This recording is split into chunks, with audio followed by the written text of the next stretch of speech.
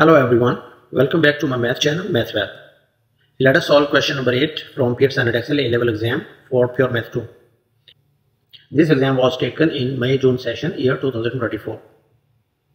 Paper reference code is WMA12/01. In this question you must show all stages of your working. Solutions relying entirely on technology, technology are not acceptable. First part, solve for 0 less than x is less than or equals to pi. The equation 5 sine, sine x tan x plus 13 equals to cosine x. Giving your answer in radians to three significant figures. First of all, value of x lies between 0 to pi. Means first and second quadrant.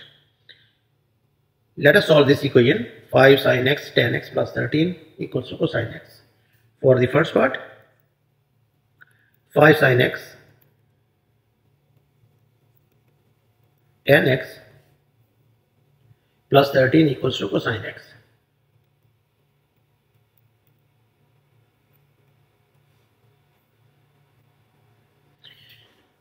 tan x could be replaced by its formula that is equal to sine over cosine. We can write here 5 sine x into formula of tan x is sine x over cosine x plus 13 equals to cosine x. To get rid of the denominator, multiply by the same. This is the easiest way to solve the fractions. Whatever the highest denominator is, multiply by that denominator. We will multiply by cosine x. When you multiply this term by cosine x, this cosine x will be cancelled out. It left with only 5 sine square x plus 13 will multiply cosine x and we get as 3, 13 cosine x equals to cosine square x. We can replace by its formula in terms of cosine because every term is in cosine so we should convert all these uh, trigonometric identities into cosine. So sine square x could be replaced by its formula that is equals to 1 minus cosine square x plus 13 cosine x equals to cosine square x. Now expand the bracket so it will be 5 minus 5 cosine square x plus 13 cosine x equals to cosine square x. We will take these values to the right, right side.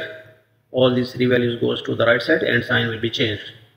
This cosine square x is already there. This minus 5 cosine square will be added to that. So we get as 6 cosine square x and this 13x becomes minus 13 cosine x minus 5 equals to 0.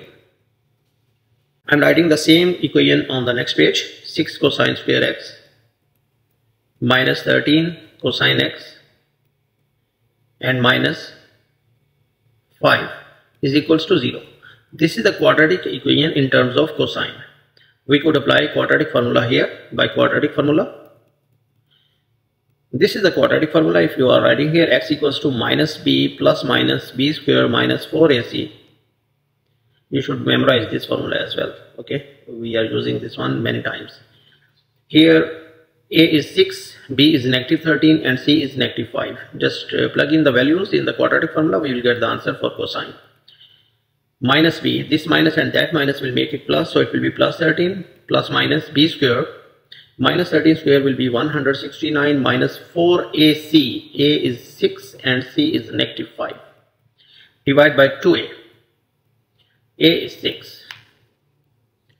Solve the value under the square root. We get the answer as 13 plus minus 17. Divide by 12. Here we get the answer, two answers for cosine. One answer will be 13 plus 17 that will be equals to 30 divided by 12 and other answer will be cosine x equals 13 minus 17 is minus 4 minus 4 over 12. This value is greater than 1 so we will reject it. We know that value of sine and cosine the maximum value for sine and cosine function is 1 but this one is more than 1 therefore we can reject this. Now Simplifying this one, we get as minus 1 over 3. Here, we know that cosine, cosine is negative in second and third quadrant. Uh, this is the rule. These are four quadrants. here all positive. In fourth quadrant cosine positive. In third quadrant tan positive. And in second quadrant sine positive. So cosine is negative in second and third quadrant here in these two quadrants.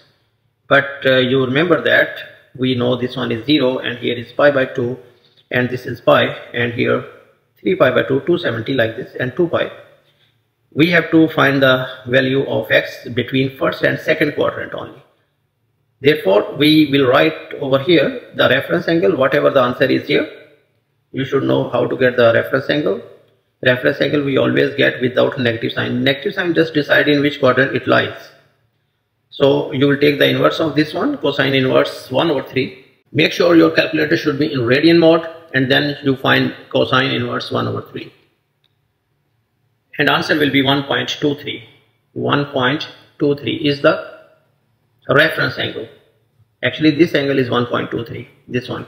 But we need to find out we always measure the angle anti-clockwise from x-axis so you need to find this angle. So subtract this angle from pi to get the required answer.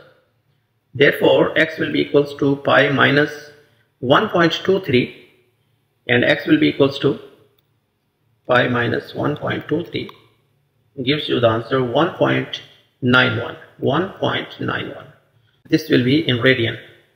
So this is the answer for the first part. For second part of this question the temperature inside greenhouse is monitored on one particular day. The temperature h degree celsius inside the greenhouse t hours after midnight is modeled by h equals to 10 plus 12 sine kt plus 18 and t lies between 0 to 24 you know in one day there are 24 hours. At midnight it is 0 0 you remember? Okay? Where k is the constant use the equation of model to answer part a to c given that the temperature inside the greenhouse was 20 degrees celsius at 6 a.m so h is representing the temperature. It means this one is h. At 6 a.m from you know from midnight to 6 a.m you should know what how many hours these are so T will be equals to 6 hours. So T is 6 and H is 20. Hopefully you understand this one. Find all possible values of K giving each answer to two decimal places. Now you plug in these two values H equals to 20 and T equals to 6 in this equation and for sure you will get the value of K. Let me write this equation over there and then we will plug in these values to get the answer for the first part. Let me write the equation over here for the second part, h equals to 10 plus 12 sine kt plus 18. It is given in the question that h equals h equals to 20 degrees Celsius and time taken is two, uh, 6 hours.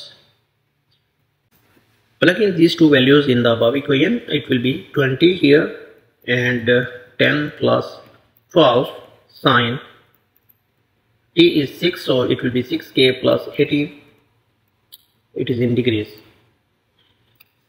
10 goes to the other side it becomes uh, it will it will be 10 10 divided by 12 this 12 will divide it to the other side. 10 goes there it will be subtracted and you get the answer 10 and this 12 will divide to the other side. We get answer as sine 6k plus 18 simplifying this one. So you get as sine 60 uh, 6k plus 18 it is in degrees and 10 divided by 12 will be 5 over 6 we know that sine is positive in first and second quadrant. It is in degrees so we write here this is 0 this is 180 degrees. So sine is positive in first quadrant and in the second quadrant. Here all positive all positive in first quadrant then sine positive then tan positive and then cosine positive. So terminal arm of the angle will be here and uh, in this quadrant. Got it? And you need to find the reference angle. Make sure your calculator should be in in degrees degree mode. Sine inverse 5 over 6 it will give you the answer as 56.4 now angle is this angle. Reference angle is 56.4 and here it is 56.4 but we need to measure the angle always anti-clockwise. So this angle you have to measure from here to here. So we will get two answers here. First answer will be the same and second answer you have to get from subtracting 56.4 from 180. So 6, 6k plus 18 will be equals to same answer 56.4 and the other answer you can get from subtracting 56.4 from 180 degrees. If you subtract it from 180 minus the 56.4 it will give you the answer 123.6 degrees.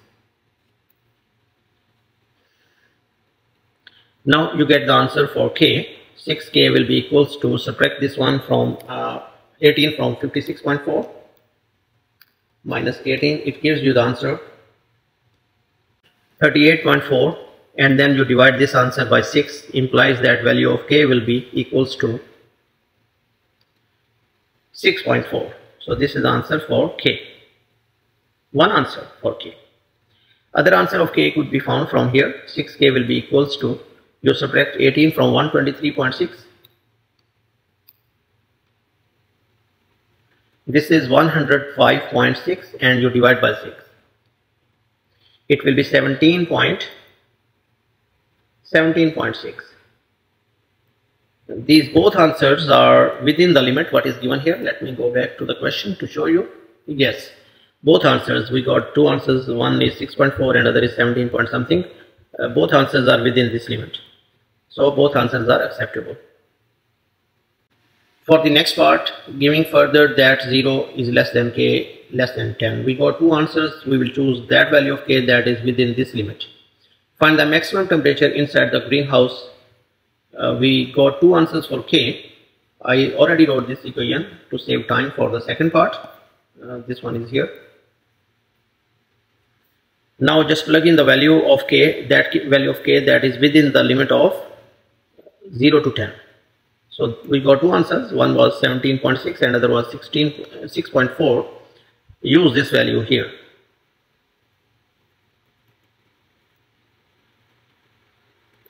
This value of k is within the limit for this part. Okay.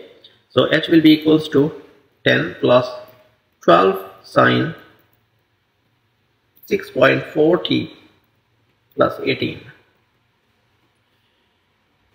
let's move back to the question again to let you know what we need to find here yes we need to find the maximum temperature inside the greenhouse you know that temperature will be maximum if the value of sine is maximum here. Okay for maximum temperature you should use the maximum value of sine.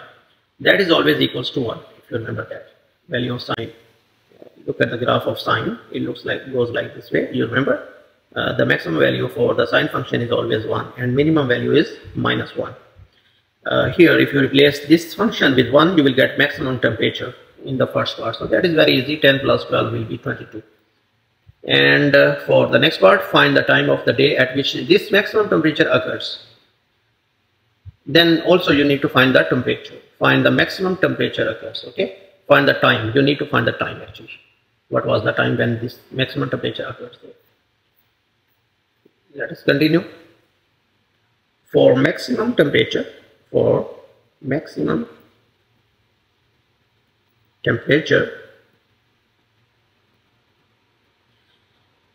we should use this one sine 6.4 t plus 18 should be equals to 1 so h will be equals to 10 plus 12 replace the value of this sine 6.4 t plus 18 here uh, as 1, we get the answer as 22. So 22 degrees Celsius is the maximum temperature that occurs on that day. Now, for the next part, we should find the time when it was it occurred. Okay, you need to find t actually.